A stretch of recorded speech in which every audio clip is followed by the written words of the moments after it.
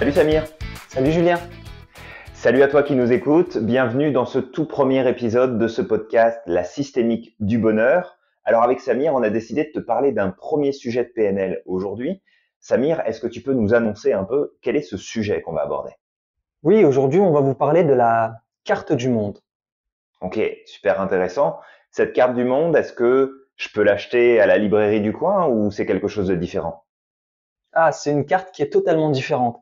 C'est pas une carte qui est universelle, c'est une carte qui est propre à chaque individu. Ok, ça veut dire que chacun aurait en fait sa propre carte du monde. C'est ce que tu veux dire ici. Exactement. Ok.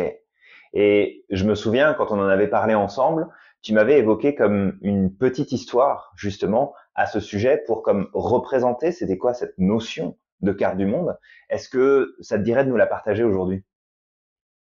Oui, bien sûr, avec plaisir.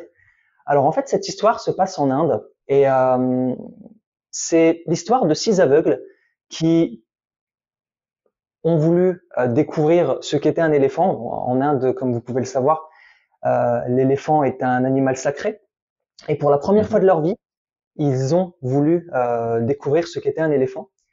Et face à l'éléphant, chacun de ces six aveugles s'est avancé vers une partie de l'éléphant et a commencé à, à tâter donc l'éléphant. Le premier aveugle, euh, lui, s'est approché du flanc de l'éléphant et puis après avoir mhm. examiné, il s'est rendu compte qu'en fait le flanc de l'éléphant c'était quelque chose de dur, c'était assez large et euh, il a eu cette réflexion. Il s'est dit que finalement un éléphant, c'était peut-être comme un mur. Le second aveugle, euh, quant à lui, euh, s'est approché euh, de la défense de l'éléphant, et puis après avoir tâté, il s'est rendu compte que c'était lisse, c'était pointu, et il s'est dit, en fait, finalement, un éléphant, c'est peut-être comme une lance. Le troisième, lui, s'approche des trompes de l'éléphant, et se dit, mais en fait, un éléphant, c'est finalement, c'est comme un serpent. Le, mhm. Quatrième, s'approche des genoux et, et puis il se rend compte qu'en fait c'est rêche comme un tronc, c'est ça a la même forme. Donc il se dit mais en fait un éléphant c'est comme un tronc. Le cinquième, les oreilles et il se dit qu'en fait un oreille c'est peut-être comme un éventail. Et puis le dernier s'approche de la queue et il se dit qu'en fait euh, ça ressemble un peu à une corde, un éléphant. Et ok. En fait, ce que tu es en train de nous dire, c'est que chacun euh, parce que bah, ils ont cette difficulté à voir, se retrouvent en fait à découvrir à travers d'autres sens. Donc là, c'est principalement le toucher, mais ils découvrent à travers un autre sens que la vue qu'ils n'ont pas cet éléphant pour la première fois. Et comme ils ont une vision, on va le dire comme ça, mais limitée, d'accès limité à l'information, ils interprètent chacun de leur façon, eh bien, ce qu'est un éléphant. C'est ça? C'est exactement ça. D'ailleurs, ce qui est drôle avec la fin de l'histoire, c'est que justement à la fin de cette histoire, euh, le groupe d'aveugles se retrouve ensemble à discuter de leur expérience, de leur découverte, et euh, ils ont commencé un petit peu à se disputer parce qu'ils n'arrivaient pas à se mettre d'accord. Et euh, il y a un sage qui était pas très loin, qui, qui, les entend comme ça, qui entend du chahut, etc., euh, qui arrive et qui leur demande qu'est-ce qui se passe.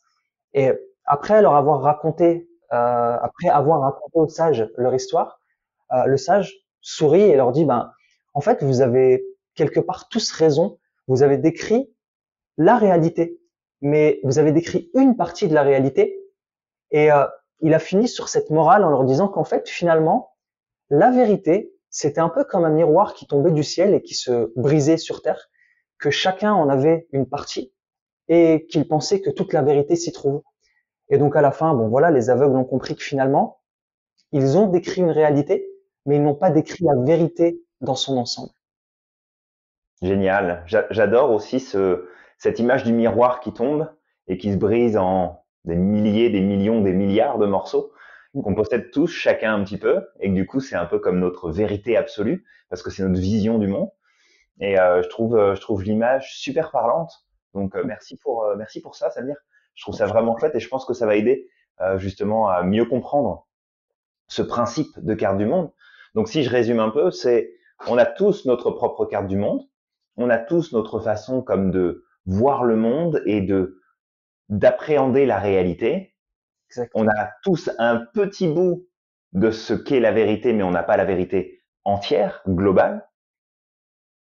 Mais du coup, quand, quand on se dit ça, je veux dire, comment, comment est-ce qu'on peut avancer comme ça, euh, plus facilement peut-être, plus positivement dans notre vie, avec cette notion-là de carte du monde? Quelle différence ça peut faire? Ah, c'est... Euh, alors ça va faire une très grande différence, le fait de... Alors, de mettre à jour sa carte du monde. J'aime bien ce mot mettre à jour. Euh, le fait de d'élargir sa perception du monde, de prendre en considération le fait que les autres ont une vision du monde qui peut être différente, ils ont une carte du monde qui est différente, qui s'est construit à travers plein de facteurs. C'est euh, l'émotion du moment lorsqu'ils vivent euh, une expérience. Quelqu'un qui va être heureux, par exemple, aura plus de facilité à avoir le billet de 100 euros qui est à ses pieds qu'une personne qui est euh, énervée. Euh, ça peut être aussi son éducation, l'endroit d'où il vient.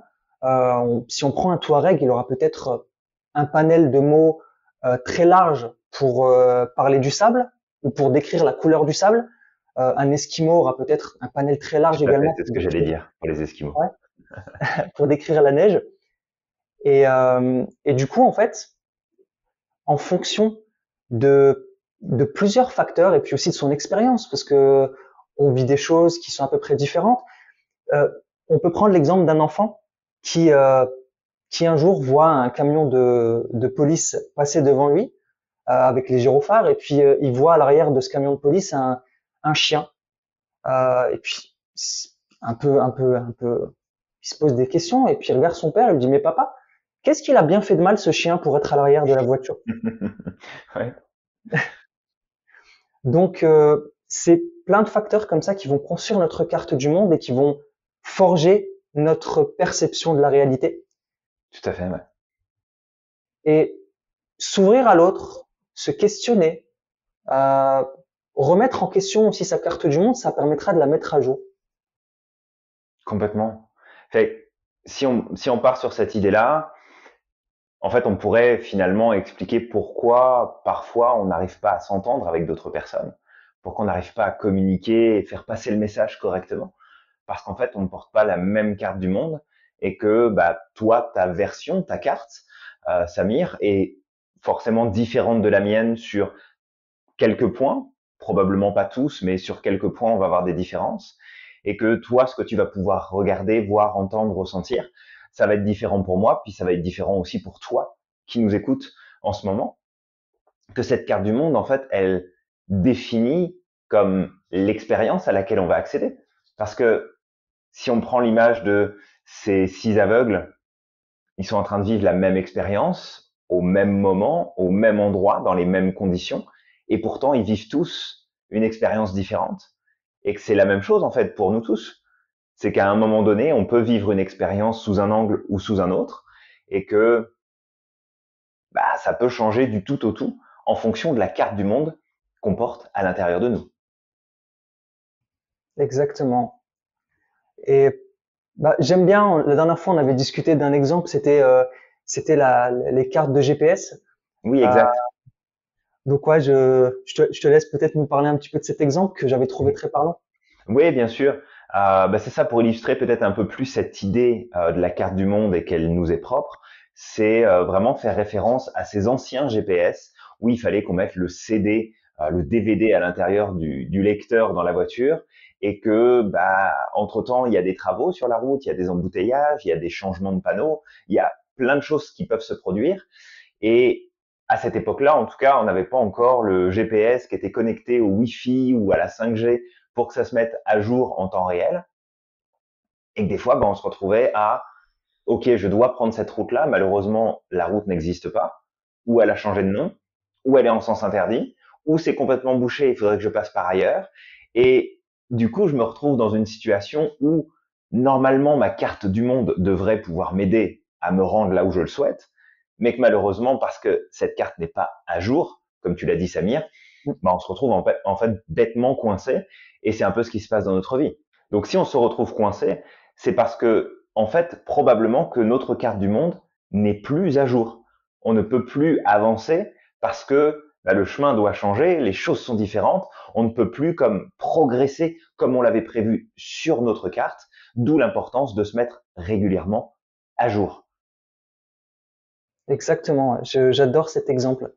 Donc en fait, quelque part, on est un petit peu comme, euh, bah, comme un GPS et euh, il y a des personnes qui restent certainement bloquées euh, où nous avons été, euh, que toi et moi, bloqués à Mhm. certains moments sur certaines euh, idées, sur une certaine carte du monde et ça nous a empêchés d'avancer. Euh, et à un moment ou l'autre, il faut faire la, la mise à jour du système. Ouais, oui, tout à fait. Et il y a, il y a une règle qu'on qu'on applique beaucoup en PNL, c'est que si à un moment donné on est coincé, qu'on se retrouve dans un problème, qu'on ne trouve plus de solution, ça n'est pas dans notre carte du monde qu'on va pouvoir trouver la solution. Il va falloir comme sortir de cette carte du monde pour aller comme explorer et envisager d'autres choses. En fait, ça signifie que souvent, ce qui nous bloque le plus, ça n'est pas ce que nous ne savons pas encore, ce qui nous reste à apprendre, mais plus ce qu'on sait déjà, ce qu'on prend comme une certitude, comme une vérité, justement, dans cette fameuse carte du monde, et qui nous empêche de, si je reprends l'exemple des six aveugles, si moi je suis par exemple celui qui est en train de tenir le, la jambe, une des jambes du, de l'éléphant, et je me dis bah c'est comme un tronc d'arbre en fait. Bah si c'est ma vérité et que je vais rester coincé là-dessus, pour moi un éléphant sera toujours un tronc d'arbre. Je ne verrai pas autre chose, je ne pourrai pas apprendre et faire les choses différemment. Si tu me dis Samir, bah regarde, on pourrait monter sur l'éléphant, bien que je sois pas pour ça, mais on pourrait monter sur l'éléphant, aller se promener, faire un tour avec, bah, je te dirais, bah non, Samir, c'est un tronc d'arbre, ça bouge pas un tronc d'arbre, c'est, c'est posé, c'est là. Comment veux-tu que je monte dessus? Et que c'est ce que je sais de la situation qui m'empêche d'avancer. C'est pas autre chose. Fait appliquer cette notion de carte du monde, ça permet comme de sortir et de comprendre que, allez, on fait la petite référence, la vérité est ailleurs. Exactement. Là, normalement, tu nous mets un petit jingle, euh, le jingle qui est associé. je sais pas si on aurait le droit de mettre le jingle associé. Pas, ouais, je pense que je pense que tout le monde a, a compris la référence. Euh, ceci étant dit, moi j'ai envie de te poser une question à toi qui nous écoutes aujourd'hui. En fait, quelle est peut-être la chose qui te bloque en ce moment?